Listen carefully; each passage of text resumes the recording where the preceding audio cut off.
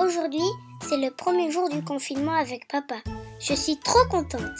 Ça va être un peu comme des vacances.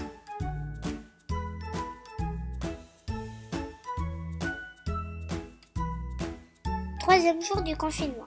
Après les devoirs avec papa, on est allé faire du trampoline dans le jardin. C'était trop rigolo et un peu fatigant aussi.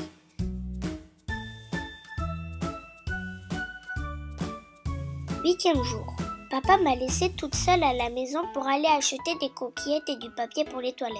J'ai même pas eu peur, mais j'étais contente quand il est revenu. Quatorzième jour. Papa a dit que la maîtresse donne trop de devoirs.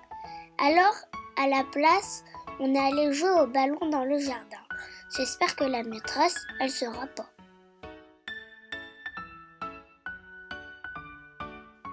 19e jour. Ce midi, papa est revenu énervé des courses parce qu'il a eu une amende à cause qu'il avait oublié son papier de sortie. Il a dit que c'était de ma faute parce qu'il était parti en colère après que je m'étais trompée dans mes devoirs. J'espère qu'il va pas aller en prison à cause de moi. 25e jour. Ce matin, papa est très fatigué. Il a dit que si le confinement continuait, il allait me donner 135 euros pour aller faire un tour. Mais au final, il m'a rien donné. 29e jour. Pendant les devoirs, papa, il a pas arrêté de me crier sur moi. Il a dit que le problème, finalement, c'était peut-être pas la maîtresse. Du coup, après, j'ai pas eu le droit d'aller jouer dehors. 35e jour. Aujourd'hui, je suis vraiment triste. Papa, il me crie tout le temps dessus. On dirait qu'il m'aime plus. J'aimerais bien retrouver mon papa rigolo d'avant le corona. 41e jour.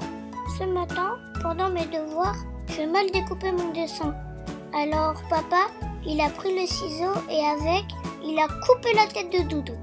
C'est comme si maintenant, papa avait attrapé le virus de la méchanceté. 42e jour. C'est fini.